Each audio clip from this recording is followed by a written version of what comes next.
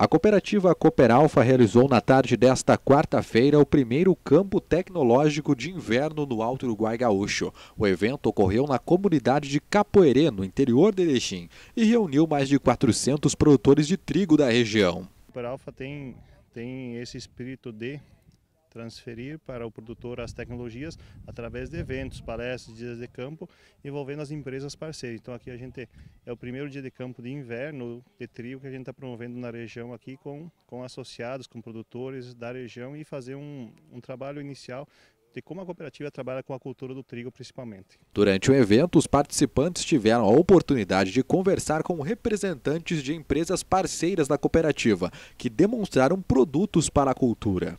Hoje, nosso primeiro dia de campo agrícola aqui da nossa regional, um evento regional compreendendo todo o norte do Rio Grande do Sul, ou todo o Alto, o Alto Uruguai, qual é a nossa área de, de atuação hoje, tratando do nosso projeto Trigo. Ou seja, trigo para a cooperativa é extremamente importante. Nós temos um projeto de, de segregação de trigo que trabalhamos em dois grandes grupos, o que é confeitaria e o que é padaria para nós. Então nós convidamos nossos agricultores, nossos parceiros, até o presente momento, para fazer parte desse, desse evento, para junto conosco debater qual é o nosso processo, qual é o nosso trabalho, como a Cooperalfa trabalha com trigo aqui na região.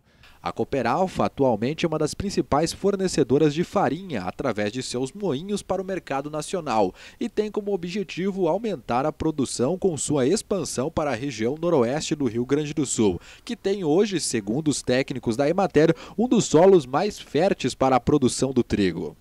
Nós estamos uh, divulgando as variedades, o desempenho de cada uma, comparativo, uh, os tratamentos, né, manejos da cultura e também o projeto de segregação do trigo, que é, são as variedades que se encaixam para o interesse industrial né, é, farinhas que vão para panetone, biscoitos, bolachas, que é um mercado bem importante eh, de, em nível nacional e a Alfa tem uma fatia expressiva desse mercado na venda de farinhas.